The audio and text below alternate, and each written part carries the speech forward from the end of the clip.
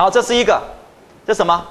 就是呃，corruption 就是贪腐的哈，贪腐的意思哈，就是司法贪腐哦。大概来，大家来思考哈，你看一个正义女神哈，这是一个正义女神，对不对？哇，上面撒了什么？好多什么？这个叫 US dollars，哎，不是，这不是 US dollars，这好像是，这是 US dollars，这好像不是哦，好久没用，好像不是，门不管不管哈，反正就是一堆的钱，就说其实正义女神被整个钱给污染了。好，那这个呢？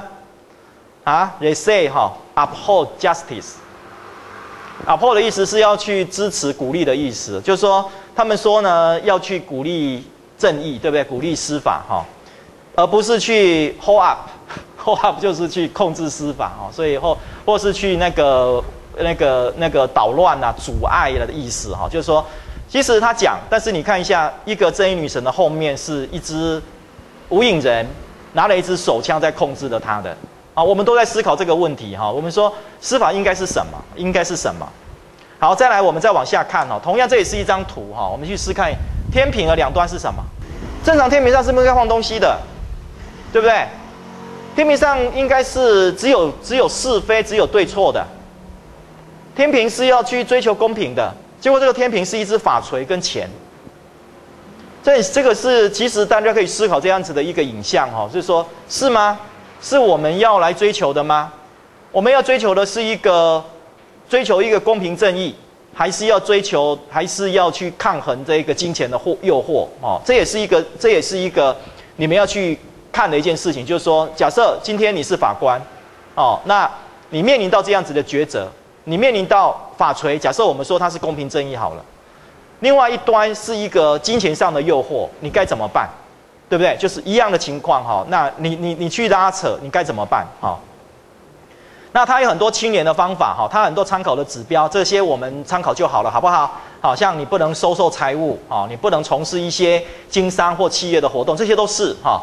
那你不能应该保持正常的生活哈，天天上 pub，夜夜笙歌，哈，那那就会有会有会有问题哈。那你不得私下提供一些法律的服务，这些都是其实都尽量不要，尽量不要哈。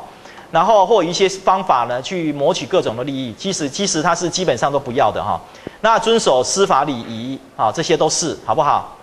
哇，这边好多图哈。我因为最最早，呃，我们在讲司法哈，嗯，我们这边呢，大部分是反绿色的啦哈，啊，都还是有颜色啦哈。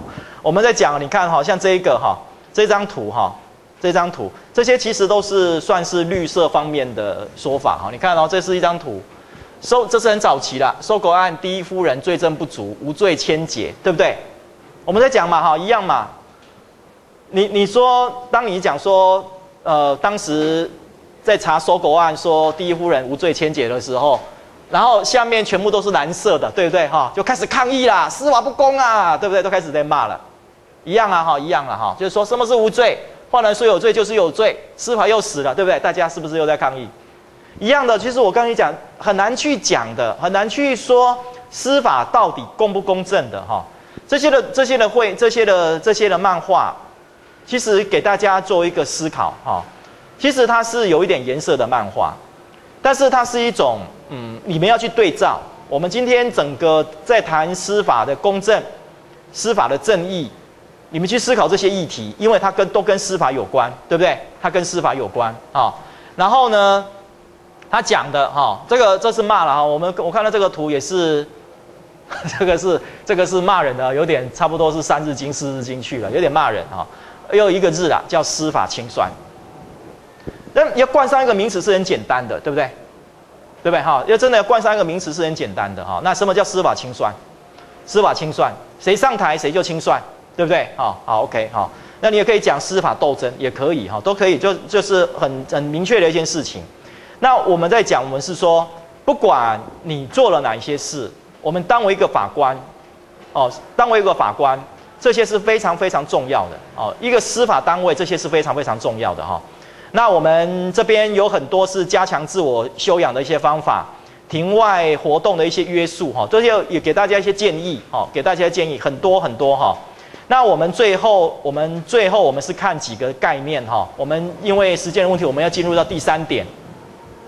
记得今天我们所谈到的是司法公正，第二个单元是讲司法效率，第三个也是最重要的是司法要独立。好，这个独立大家知道哈。我们说，那司法独立一般来讲就包括审判的独立，再加上制度的独立哈。我想这是一些很多学者或是大部分的学者是这样子的一个见解哈。司法独立是包括审判的独立跟制度的独立。那什么叫审判的独立？就是你法官的审判，你除了依照法依照法律所为之外，就说依法办事、依法审理案件。其他的你要完全独立，其他的都要完全独立哈。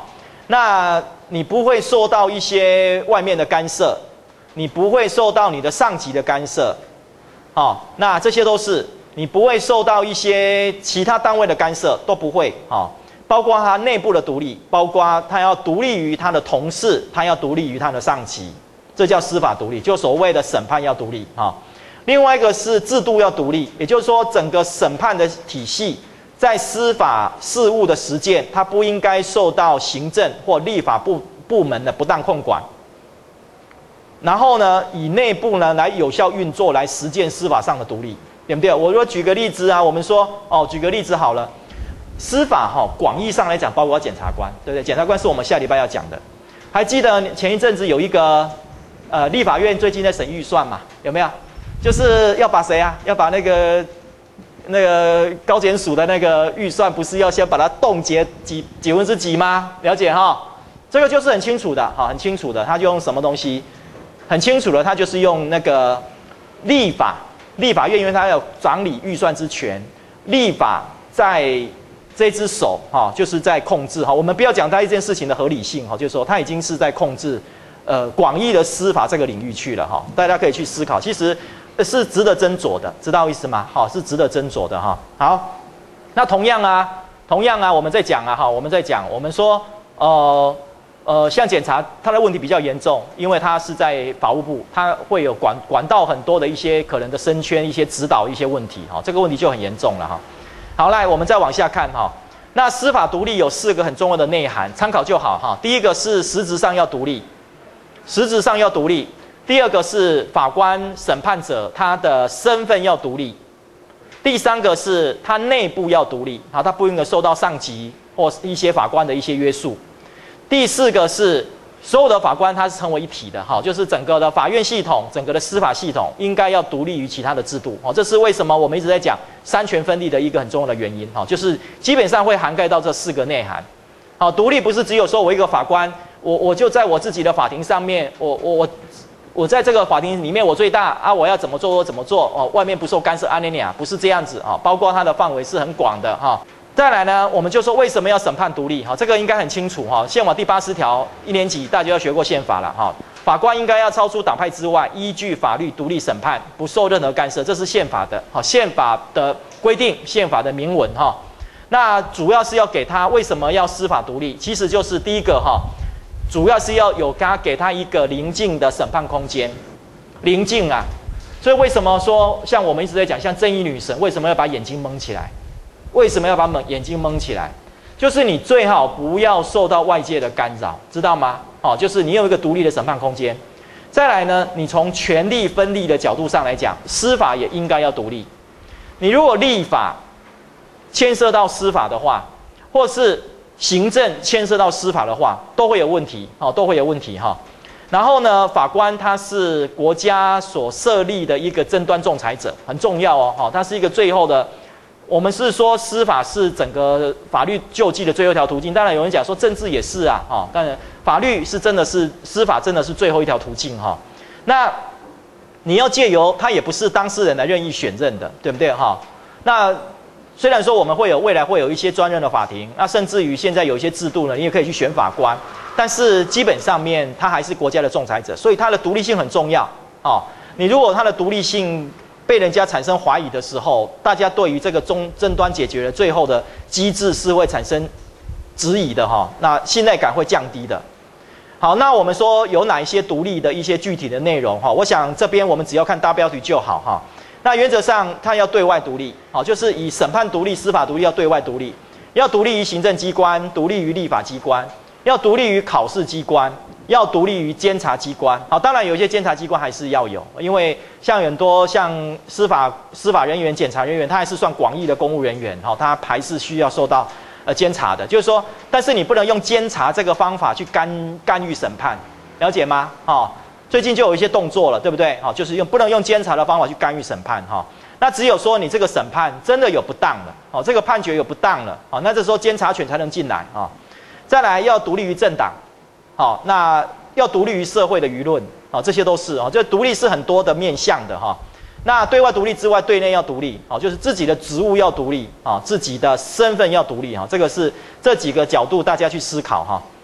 那其实到最后我们来看，我们刚刚讲过天平，对不对？这边有几张图哈，很多都是天平，大部分的图是平的，对不对？天平是平的。那这张图是天平是有点上下的，我不知道这好像是不是因为。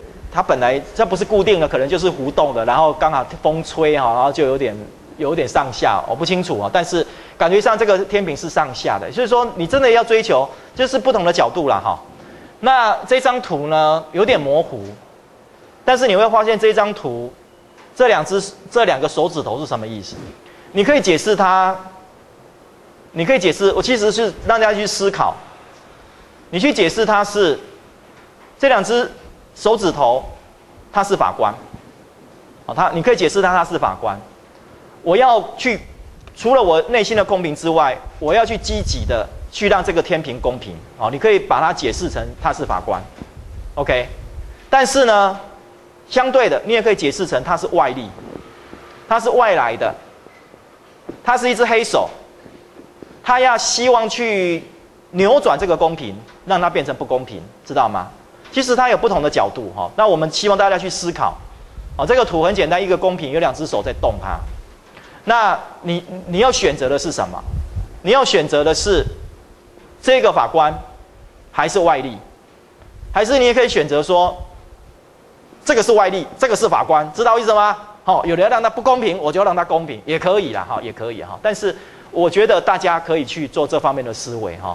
这个天平在我们法律人的心中啊，永远是一个天平啊。虽然我们说那是心在左边 偏十公分，每个人都会偏心呐哈。当然每个人偏心，但是呃，我我觉我觉得还是人哈，人一定会有不同的想法，一定会有不包括我们整个成长的过程，我们的社会经验，我们都会面临到很多的问题哈。那这些真的要。怎么样才是真正的公平？我们整个这个两个小时几乎都在讲这些啊。那其实他很难去做选择抉择哈。那不过还是呃能够去做思考哈。这是大概今天最后一张图了哈。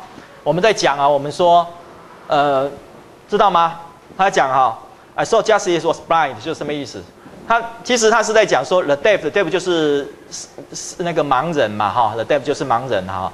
他认为这是一个 jury service，jury 就是陪审团的陪审团的一个服务的时候，他说他不需要盲人，他不需要盲人，哈，很很好玩，就是其实盲人在陪审团里面是不应该被拒绝的，除非他是一些专业人士，要不然陪审团正常是不应该说你因为你是盲人你就不能来当陪审团的，哈，应该是这样子。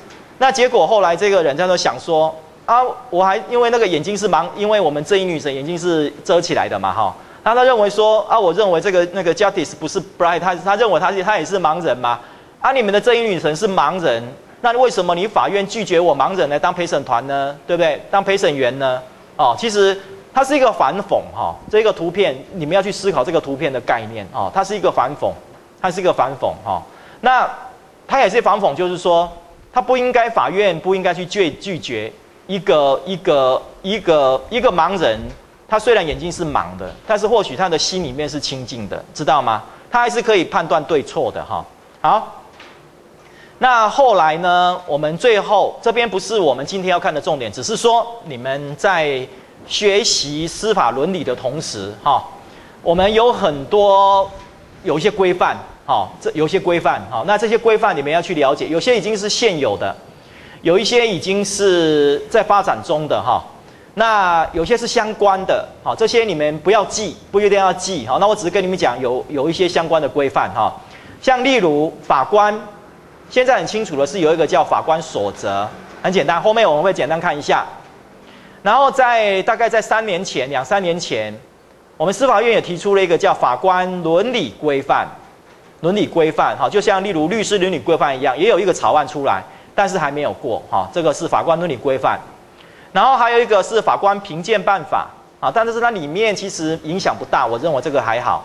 还有各级法官的自律委员会的实施要点，就是说各级法院他们都有每一个。每一个地方法院都有他自己内部的一个一个自律委员会，哈，就是自己管自己的一个自律委员会。那其实最重要的是法官法，哦，法官法大概已经快二十年了，还没有过。啊，行政院它的版本，司法改革委员会有它的版本，啊，有一些立法委员也提出他自己的版本，哈，所以法官一直没有过。那法官法里面草案里面有很多版本，那版本里面通常都有一些是跟司法伦理有关的概的规范，啊，都有，哈。那我是跟大家讲，是说像法官伦法官所得，这是目前大概是最明确的，哈，最明确的。那后面我会看，其实内容不是那么的精准，不是那么的确实，哈。然后其他的像公务呢，因为他是管务的公务人员，哈，所以跟公务有关的伦理规范的基础法规这些都有，好吗？好，像刚刚我们在看的那一些案子，那些案子里面，它不仅是违反法官所责而已。他也违反的可能是公务人员服务法、公务人员惩戒考绩法、惩戒法这方面的法规哈，所以用这样子的东西来惩处的哈，这是比较违法层次比较高的，它不是伦理而已哈。好，那这些我们就跳过去了。那法官所责呢？目前的法官所责是八十八年版，因为它有点晚，已经今天民国几年？九八，哈。十二月啊，快满十岁了哈，啊，不要怕破啊几年呢？所以，因为它比较晚了，后来大家都认为说应该要更新了，所以为什么会有一个法官伦理规范出来？那有有提啦，有一些草案啦，但是后来因为大家又在吵说要不要有法官法啊，把它的规范进去，原因在这里了哈。那内容我们不看哈，但是你会觉得说，好像这一些都好像在打高空，蛮含混的，对不对？好，它没有很具体，好，就说高尚品格啊，上面一个品格。啊，上面一个谨言慎行，啊，你难道谨言慎行？这个慎行只能讲只能走大马路吗？好，那个小巷子不能走吗？这个怪怪的，哈。所以什么叫廉洁致辞？每个人的标准不一样啊，对不对？每个人标准不一样啊。我吃路边摊，还是我今天吃比较高级的餐厅？啊，你在哈比较高级的餐厅啊，这类跟你的身份不一样。高级餐厅偶尔会有些人偶尔会打一下牙祭吧。怪怪的，所以我们要去思考哈，那避免不当或易被人家认为不当的行为。所以其实这些是一个概念，伦理就是要这样子，好，其实伦理是要这样子，但是问题是它就是没有一个更明确的标准，哈，可能会造导导致这样子的一些一些判定上的一些问题。那八十四年是第一部旧的法官所责，哦，所以那四年后修了哈，那哦，这是八十四年的所责，好多哦，稍微多一点呐，啊，稍微多一点。我们内容不看好不好？这是可以看得到，就是我们法官守则以前是没有的，八十四年有，后来八十八年又改了，啊，现在就是八十八年的守则哈。那八十四年的守则是比较多一点，比较多一点哈。像政党活动这些都很清楚的写出来了哈。好，那再来，我们不是有跟你讲有一个法官伦理草案吗？对不对？这是八十九十六年，就是前几年有制定草案，但是一直没有过，一直没有过哈。那这边我们不去看内容，你只要去看几个，就是说它有前言，它有指导原则，这边更更精准了，更精准了。所以如果有同学你们想要去研究那个司法的伦理，这些就是一些议题哈。像他们有一些是执行司法职务的行为，哈，像司法行政，还有司法职务外的一些行为，好，这边都很清楚了。你看哦，他如果你涉及到人家的官说怎么办？兼职法官能不能兼职？啊，例如像最近很多法官都跑到啊大学来这样教书，对不对？啊，教书哈，啊，能不能兼职？问号嘞哈。然后呢，担任律师或顾问可不可以？很多政治活动啊，这些都有哈，在草案里面是有的哈。